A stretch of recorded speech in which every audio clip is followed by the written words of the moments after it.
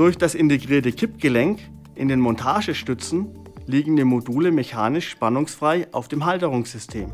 So entstehen keine Verspannungen im Modul und die Gefahr, dadurch verursachter Zellschäden verbunden mit Leistungsverlust, ist gebannt.